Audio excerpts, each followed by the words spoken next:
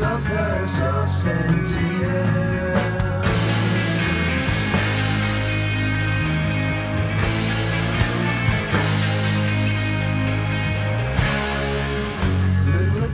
as an ambassador. Perhaps will be the only evidence left. Civilization that has reached outward.